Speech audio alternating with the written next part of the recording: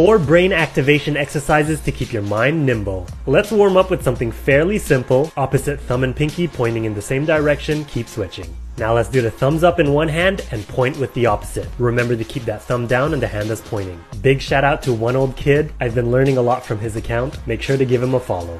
Alright, you're gonna need to pay attention for the next one. Right hand index finger touching your thumb, left hand pinky touching thumb, and move in sequence. Come back and forth. Remember, you need to end the same way you started. Left index touching thumb and right pinky touching thumb. I find this one the hardest. Move your right fist in a circle away from you now your left fist in a circle towards you. Your body's gonna wanna calibrate and move them in the same direction. Try not to.